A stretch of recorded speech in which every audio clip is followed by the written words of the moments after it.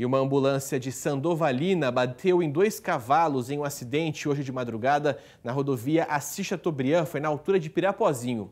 Segundo os bombeiros, pessoal, na ambulância estava só o motorista. Apesar dos estragos do veículo, o motorista teve ferimentos leves, foi levado consciente para o pronto-socorro. Os animais, infelizmente, não tiveram a mesma sorte. A Prefeitura de Sandovalina informou que o motorista tinha deixado pacientes em Presidente Prudente e estava voltando aí para a cidade de Sandovalina.